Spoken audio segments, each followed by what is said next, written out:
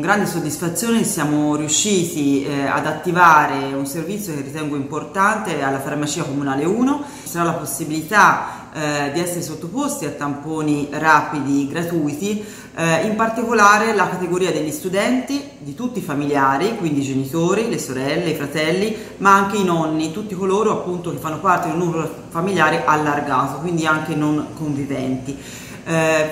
inoltre è possibile appunto sottoporsi a tampone rapido anche per tutto il personale scolastico di ogni ordine e grado, quindi dallo 03 eh, fino alle scuole superiori, tutti coloro che lavorano nel mondo della scuola possono eh, prenotare telefonicamente o di persona ehm, il tampone rapido presso la farmacia comunale 1 e ringrazio vivamente eh, il direttore e eh, i farmacisti che si sono resi disponibili e che effettueranno personalmente eh, il test. Questo è un servizio importantissimo che ci aiuta come comune ad aumentare eh, il monitoraggio, lo screening che stiamo già facendo con il servizio di tamponi eh, gratis che l'amministrazione ha messo a disposizione ma che permetterà appunto ancora ad una fascia particolare eh, della nostra popolazione di poter richiedere questo aiuto naturalmente tutto gratuitamente.